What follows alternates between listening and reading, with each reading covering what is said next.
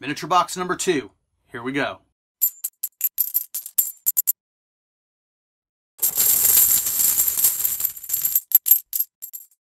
All right, what's up, everybody? This box of miniatures, it's a very small box. It was just three miniature sets, and I bought them because I wanted them. I wanted them personally. Um, I will be keeping at least one of these sets, if not two of them, for my own, like for a while. I don't really have a miniature collection, but I've wanted these, and I'm considering maybe even painting them. I've been talking to Michael Ann about maybe painting these dragons. So uh, I'm going to sell one for sure, but we'll get into that. But let's take a look at why I bought these. So, this is the auction that I saw come along. The price for these, not bad. I have sold, well, I have been party to selling. I was helping someone sell, and they sold one of these miniature sets still in the package, but in the same condition, because these are these look like they're in basically new condition one of these for $200. I've routinely seen some of these miniatures sell for between 60 and $100 a piece. Now, you also sometimes find one that's selling for $12. I never see it before it sells for $12, but I see sold items on eBay and I see really, really good AD&D Council of Wyrms miniatures, which is what these are. I see them selling for cheap prices, but I also see them listed for a lot and I see them sell for a lot. So these three for $60 seemed like a really good deal. Now, of course, that's assuming that once I get into this box, they will be what I expect and in the condition I'm, I'm hoping they're in. So let's go take a look at those now. All right. Miniature eBay lot number two. The one that I bought because I wanted these. Let's get in and see how these are. Oh, before I open it, stuff moves around a little but it doesn't sound bad. There's a little bit of side to side, and I can kind of hear metal clanking, but not much.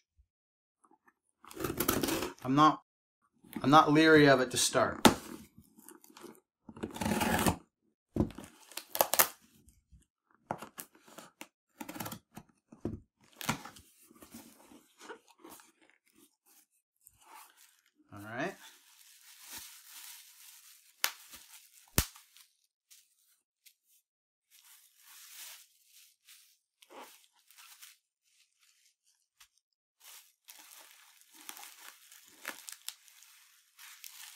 Are taped together so they won't move. That's fine. All right, all right.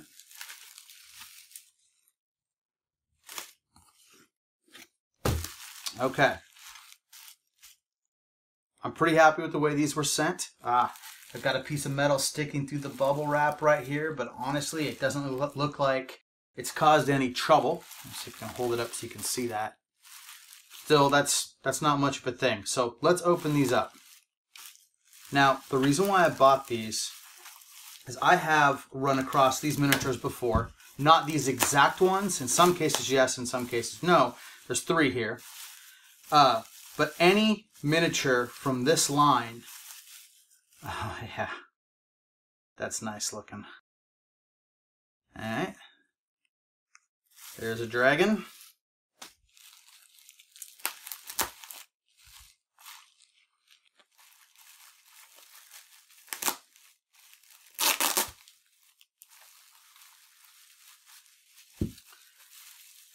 The metal that was sticking out on this one was the top of a wing.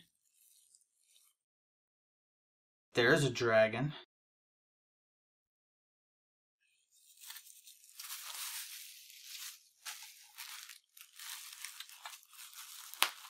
This one I can already tell is in pieces, but that's okay. I don't think it's broken. I think it's just the original pieces haven't been glued together. These have been glued.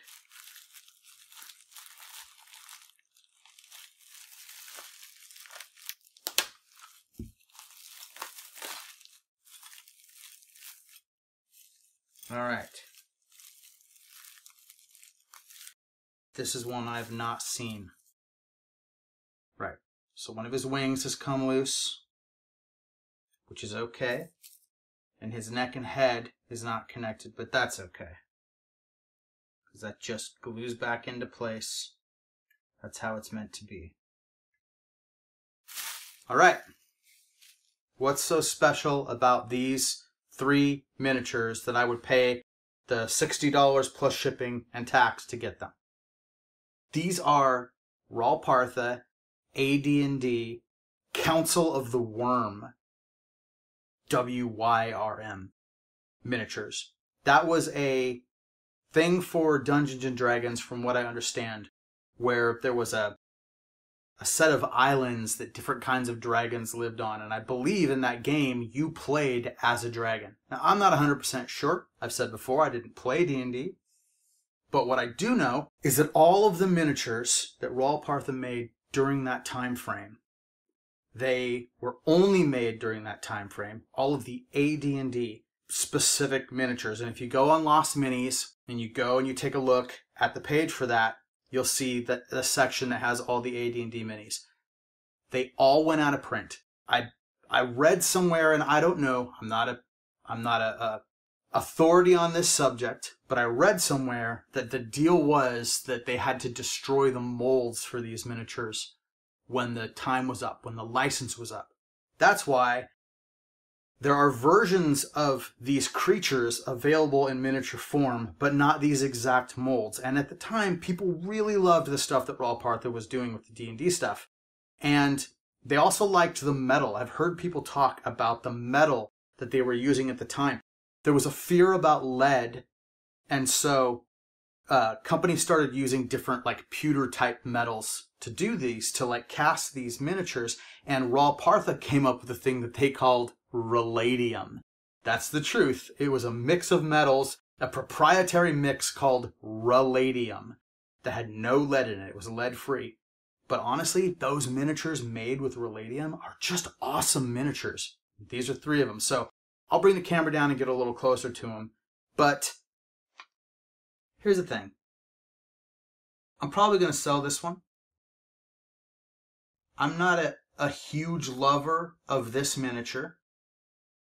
These two, I kind of want to keep them. And I was thinking about painting them. I, you know, the more I look at this one, the more I, I feel like I'm not in love with the idea of painting it. But maybe Michael would feel differently. Maybe she'd like to give it a shot. Really like this one. The wings are just so weird, like a seashell look.